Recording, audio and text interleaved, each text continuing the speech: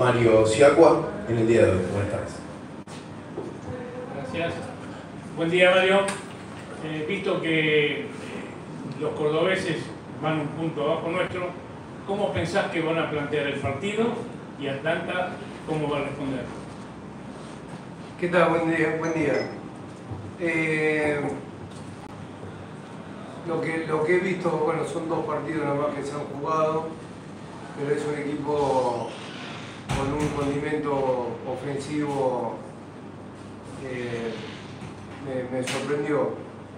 De, los laterales en ataque, de los volantes externos, tal vez similares a Jordan y a Lagos, no jugaba con dos delanteros, sino con un media punta y un punta, pero lo vi un equipo ofensivo y me, me imagino que de local eh, van a salir a buscar el partido.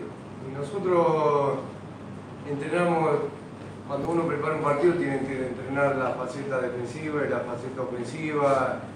Si entrenamos mucho, lo que, lo que analizamos post partido Colón, que no digo la posesión, sino tener un poco más de paciencia cuando agarrábamos la pelota. Con respecto al partido que se jugó anteriormente, lo volví a ver más tranquilo. Y sí, me parece que lo que se dijo en la conferencia de prensa fue muy. Un equipo ordenado fuimos, pero cuando recuperábamos la pelota era un equipo muy ansioso por llevar el arco y esa ansiedad nos hacía ser impreciso. Bueno, la imprecisión, eh, hay cuestiones que tienen que ver más con lo psicológico también, pero hicimos mucho hincapié en, en en buscar precisión en los pases, en, cuando tenemos la pelota, en no perderla con facilidad. Y eso va a hacer que en un momento juguemos con transiciones directas, en un momento el equipo rival por una cuestión de que nuestro equipo también propone laterales subidos, el equipo rival va, va a retroceder y ahí vamos a tener encontrar pase y paciencia para encontrar, pero una vez que progresamos los tres cuartos tenemos que atacar. Muchas gracias. Bueno, justamente pensando en haber visto nuevamente el partido pasado y preguntarte algo que me quedó pendiente también es si lo ves cómodo, Alejo, en la posición y en lo que vos tenías planteado de que él estuviera suelto eh, en gran parte del partido para poder hacer un trabajo como mucho más intenso que por ahí en otras posiciones, porque en ocasiones también se lo veía llegar como con, mucha ansiedad a la pelota o un poco más tarde, entonces entra en un lugar de riesgo eh, permanente. A mí me parece, ya lo dije en la, en primera conferencia jugó Almirante Brown, los buenos jugadores, eh, dentro del sentido común, él es un mediocampista, puede jugar de cualquier posición de mediocampista y ustedes me dijeron que jugaba de lateral derecho y lo hizo muy bien. Él puede jugar de volante derecho, de mixto, de volante izquierdo, no lo pondría atrás del 9 por una cuestión de que tengo, tendría otros jugadores, pero vamos a suponer que, que el partido necesita, requiere, porque ya hice los cambios y él tiene que jugar atrás del 9 por jugar. ¿Entendés? Son jugadores. Mira, yo tuve, no lo dirigí, pero fui, lo vi muy de cerca porque fui manager del club de Colón a Bernardi, a Cristian Bernardi. Es muy, muy- tiene características muy, muy, no sé si lo ubican a Cristian Bernardi, tiene características muy similares. Es un jugador, Cristian era un, en, en el instituto era un, un delantero, después lo tiraron por derecha y en Colón con Eduardo jugó de doble 5, de 8, de, de 11, ¿me entendés? Juegan bien, pero lo que tiene Chucky, eh, que es lo que yo le estoy insistiendo en las terminaciones, tener más convicción él en la... Él es un jugador que busca asociar, eh, y hoy, por ejemplo, en el entrenamiento terminó tres jugadas y las tres las terminó bien y el equipo fue profundo como queremos nosotros. Porque si él no termina la jugada, la estadística final termina como que nosotros llegamos una vez y el rival llegó dos, como la- lo del otro día. Si él termina la jugada, llegamos tres veces.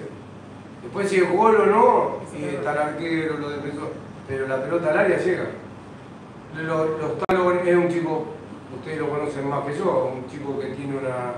eh, es muy. eh, a ver, lo, lo podés hablar, un chico cerrado, muy abierto, tiene una gran apertura, es inteligente. Me parece, y se va a potenciar, obviamente, yo pienso que se va a potenciar. Mario, buen día. Una pregunta con respecto a los delanteros, a los dos que jugaron los dos primeros partidos de titular. Ninguno, ninguno tuvo jugadas claras de gol, ni, Joaquín Subieles ni Constantino. Eh, ¿Lo hablas con ellos? ¿Te preocupa? Eh, ¿Ellos cómo están? Sabemos que los delanteros viven del gol, no solo de hacerlo, sino de tener llegadas. Y Atlanta llegó, pero no llegó en, el final, por lo menos de la jugada, de, de la mano de ellos. ¿Cómo repercute en ellos y si para vos es un tema preocupante o es algo más del juego? Mirá, eh, es, un poco lo, que estamos hablando desde el inicio, post-Colón, de la creatividad que tenga el equipo, del ataque del Amicino, eh, de los centros que pueda tirar Latancio, eh, la asistencia. Hoy, por ejemplo, nosotros hicimos un entrenamiento y paradójicamente hicieron dos goles, uno, un gol cada uno. Y yo hice el puñito porque a mí eh, me parece que es necesario, si lo hubiese hecho Requera también, hubiese- pero es necesario que el delantero haga gol, porque también hace que convivan más en el área. Porque una de las cosas que yo hago con ellos, no salgan tanto del área porque las referencias son ustedes, pero y te dicen, "Sí, pero si llegamos al fondo, podemos llegar al fondo y nos la tiran. Bueno, es toda una cuestión, pero sí lo charlamos, en la pretemporada ellos hicieron goles, Ivo hizo seis goles, me parece, en la pretemporada. Eh, sus bienes sabemos que tiene otra característica, un jugador de asociación, que se va a tirar atrás, que va a habilitar, es un jugador que, entiende los espacios. Necesitamos un jugador también. Eso es toda una, es como una, eh, eh, una maquinaria, ¿me entendés? Desde atrás hacia adelante, porque también hay acciones de la segunda jugada que los, los volantes el otro día ganaron mucho. El otro día fue el partido que más pelotas recuperamos nosotros. Recuperamos más pelota que Colón. Y, y no se notaba porque después la- se diluía la de ataque, ¿no es cierto? Bueno, todo eso al tener una semana larga hicimos mucho hincapié en esas cosas. Ojalá que Dios quiera y tengo fe que el domingo lo vamos, lo vamos a poder llevar a cabo. Y, y re- re- re- recalco no solamente lo de Sorodo, lo de Bodense, lo- los jugadores que son ofensivos. Yo siempre le digo a los jugadores, ¿cuántos tiros tiraste al arco? ¿Cuántos centros tiraste? ¿Cuántas situaciones agarraste ahí en el arco? ¿Me entendés? Son estadísticas. Olá, Mário. Hola, Carlos. Bom dia. Lucas Guimarães para Aroma Deportivo. Queria consultar-te qual crees que es la clave para que Atlanta no haya sufrido goles todavía en el torneo, visto que ya jugó ante poderosos adversarios como Almirante Brown y Colón.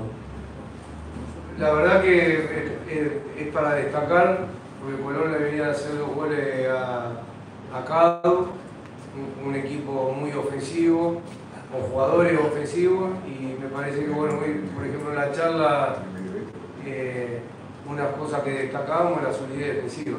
Y yo le decía que estadísticamente los equipos que llevan a la fase final son los equipos que menos goles reciben, estadísticamente. Entonces, mantener el arco en cero y por ahí, no sé si lo deja aquí en la conferencia de prensa. Lo podría haber dicho. ¿Eh? Pero bueno, eh, hay, una, hay un contexto defensivo importante en la recuperación, en la agresividad para, para presionar y ahora, bueno, es como que el eslabón ese hay que sostenerlo y mejorar o, o potenciar el eslabón que, que también estadísticamente que hace más goles que termina triunfando, es una realidad. Es la Alejandro primera vez que te veo, ¿no es cierto? La primera vez que venía a la Sí, sí. ¿De dónde son? De Brasil. De ¿de qué parte? Del sur, de Porto Alegre. Mira, ¿De Inter o de.? De Grêmio. ¿y estás de paso? No, estudio periodismo deportivo. Mira que nada. Qué bueno. ¿Cómo te van Uno más a la banda, ¿eh? Uno más al análisis. Pero me hizo linda pregunta, eso está bueno. ¿Todo bien? Bien. Bueno, de manicomio bohemio. Teniendo en cuenta el rival, ¿cómo vas a parar el equipo si ya lo tenés pensado? Si tenés que hacer cambios por lesiones. Y eh, la audiencia nuestra está preguntando por Medina. Por el pibe Medina. Eh, eh, las dos primeras, sí, no tengo problema, pero mañana tenemos un entrenamiento más. No tenemos le- lesionado, gracias a Dios, al contrario, me parece que ya los, chi- los chicos que estaban con problemas, están con un problema, eh, están recuperándose. Y Medina tuvo un problema que desde el domingo, desde el sábado, el sábado, domingo. Estaba con gripe y estuvo toda la semana en cama. Y,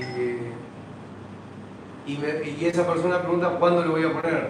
No, si lo tenés en cuenta, Sí, claro. La audiencia nuestra está Sí, sí, sí. Son varios. Sí, Sí. sí, es buen jugador, sí. Vive el club, Sí, sí. lo mucho. Y yo también.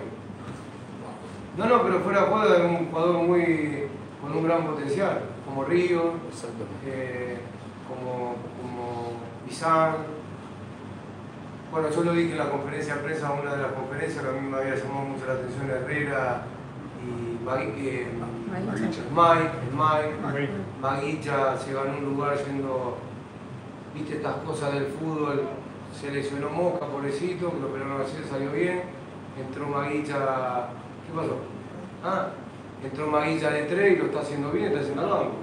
Entonces, son juveniles que tiene el club, que yo obviamente le doy mucha importancia, le doy mucho valor y, y ojalá primero que se recupere y que vuelva rápido a estar con nosotros y, y seguramente va a tener sus chances, estoy seguro. O sea, está lesionado, tiene, está con gripe, no puede Está con una enfermedad, con, sí, con gripe, no sé. ¿Qué tal Mario? Marcelo Junovich para Arriba Atlanta. Eh, recién algo te escuché decir, eh, tenés el 100% de los jugadores disponibles, salvo en este caso de Medina, pero es, eh, Alegre ya está recuperado. Y, Eh, Alegre empieza la semana que viene a entrenar ah, casi a la par. Hace una progresión hasta el jueves, o viernes. sea, no, está disponible para el No, no, domingo. no, no. Los que estaban lesionados ya están casi recuperados. Y yo te hago una pregunta a media tono particular, porque para mí es un gran jugador, y creo que va a ser un jugador que va a dar mucho a Atlanta, que es el caso de Rueda. Lo de Rueda lo, lo van llevando por la parte física, eh, o es un tema táctico, futbolístico tuyo, que por el momento no, no- no tiene su lugar. Mira, el, el- nosotros tenemos un plantel importante donde hay jugadores, como yo te puedo nombrar a Ochoa Jiménez también. eh, después nosotros tenemos que administrar 11 jugadores, lo mismo que Medina en su momento por ahora porque tuvo ese impedimento, pero la semana pasada estaba bien. Y, y también vuelvo a analizar porque decir, está bien, pero después, bueno, hay cuestiones que nosotros analizamos. El torneo es muy largo, es de resistencia, es de desgaste. Lo importante para nosotros es tenerlo bien a todos. Hoy tuve una charla con Nico Previtali porque también está con la ansiedad propia de, de- de volver a insertarse. Eh, y el gran desafío es tenerlos a todos bien. Rueda está bien, están, me parece que desde que llegó está en un buen momento y usted me, vos, usted, vos, como Sí, puedo decir, eh, me podría decir por qué no pusiste a Rueda en lugar de Marinucci. Esa era la pregunta, no quise hacer personal. No, no, pero bueno, y si Marinucci hubiese tirado el centro en vez de enganchar y le hace el gol con Dantino, estaríamos hablando, qué buen cambio que metimos. Porque sepa que enganchó. Totalmente. Entonces ahí se diluye lo que me pregunta el señor o el señor de los delanteros. Río, la primera agarró, chanfleó y la tiró al área. Después la segunda quiso gambetear y Una de más. Una de más. Entonces, y, no, y yo lo que le dije a los jugadores, no es cuando hablo con ustedes o cuando hablo con ellos, o cuando con- no es encanarlo porque diga, eh, Luca, tira al centro. No es, si estamos en una. Si hay confianza, hay. eh, somos gente, yo por lo menos me considero, y todos los chicos que tenemos, somos gente buena, honesta. ¿Por qué no podemos decir, no me gusta cómo tenés los anteojos? Te lo digo de onda, ¿no? ¿me entendés lo que te.? Y preguntámelo con, de, de frente mano, yo no tengo problema. Y vos me decís, pero en ese momento pensé, como estaba Colón, lo veía el 3, el, a Castellete estaba fusilado. Eh, ustedes entiendan esto, Rueda es un volante, tal vez como Dramicino, que entra, entra a jugar. ¿Se entiende, no es cierto? Un jugador que a partir del volante de estar por fuera, entra a jugar entre líneas y puede jugar por fuera. Marinucci es más un... Y yo pensé en ese momento que si le metía dos pistones por fuera lineales, lo iba a llover a centro, los Goldi y López estaban, lo veía cansado, le puse a Godel, se le puse a Bizar, por eso dije que después del partido los cambios fueron ofensivos, podía ganar el partido, ¿no? si Rueda lo pongo, capaz que lo sostengo más la mitad de la cancha, pero está bien el pibe. Mirá todo lo que te dije después de Rueda. Muy bien, gracias. ¿Cómo andas, Mario? Eh, Cristian Coraza de Conama Bohemia. Eh, bueno, viendo cómo fueron generalmente los dos partidos, que el segundo tiempo, con la entrada de Ríos y de Bizanz, le dio un poco de- más de juego al equipo. Eh, ¿Hay posibilidad de que entren de entrada ellos o vas a seguir con el 4-4-2 y después en el segundo tiempo los, los volvés a, Cuando termina un partido, y como más con el de Colón, vuelvo a destacar, porque lo, hablamos con ellos también, y lo hablé con algunos jugadores que conozco, la cuestión física del equipo, la intensidad que tiene el equipo, eh, la verdad que es, es destacable porque todos corren, todos meten, y ahora obviamente le tenemos que agregar la otra cuota que es el fútbol. Pero desde lo actitudinal se pueden conseguir muchas más cosas que si son una papa hervida, una realidad. Entonces, después del partido de Colón, después de la conferencia de prensa, yo me fui a mi casa y siempre la primera sensación cuando hay una cuestión o un análisis negativo es decir, bueno, ¿cómo puedo tocar para mejorar o para, siempre buscando mejorar, para potenciar? Y el primer día decir, bueno, podría hacer esto, el segundo día ya decir, pero vos sabés que cuando ve el partido decís, pero bueno, fue un partido complicado, jugamos contra un equipo que va a ser candidato, fíjense la, la repercusión que trajo en Santa Fe el empate, valorizando también lo que es Atlanta, porque lo dijo Delfino, lo dijeron los periodistas de Santa Fe, pero sabiendo que venían a jugar casi una final, nosotros también el partido fue, no hubo espacio para que vean la, valorización del partido que también, no es que Colón vino a jugar y fue un partido de palo y palo. Entonces pasando los días, veo el partido, veo pa, pa, pa, y yo digo, van tres fechas. Y el equipo, si yo empiezo a tocar en tres fechas, ya viste, empiezo, y me parece que yo, tal vez mi idea más que nada es tratar de que esto, porque el primer partido siempre el primer partido. Viste, que, no te digo una moneda al aire, pero viste, de visitante. El segundo partido, un contexto extrafutbolístico. Yo hago un análisis positivo, más allá de que a alguno le gustará o no. Yo, en el contexto general, mi análisis positivo. Coincido, lo que le dije fue el partido, que tengo que mejorar, que tenemos que mejorar. Y después, me, me la juego más como para como darle más ro- rodaje este partido. 45 minutos, Ok. ¿se entiende? Sí, señor. Última pregunta, por favor. Quería preguntarte qué te pareció la gente de Atlanta, el recibimiento de la cancha, el jugar de local el primer partido, cómo te sentiste, qué sentiste Qué bueno, de la gente. qué bueno, gracias. No, bien, la verdad que me. Bueno, vino mi familia y también le llamó la atención, el aliento. eh, me siento muy, muy. Hoy tuve una reunión con los dirigentes y les decía que está bien, van fechas, pero siento, me siento muy cómodo, vengo con muchas ganas de trabajar, eh, siento una armonía. eh, armamos un lindo grupo de trabajo, la armonía de la dirigencia. Y después lo de la cancha, obviamente era un día muy particular. Yo estoy seguro que si hubiese hecho 15 grados menos había más gente, una realidad, pero la tribuna estaba llena, toda la platea estaba llena. ¿viste?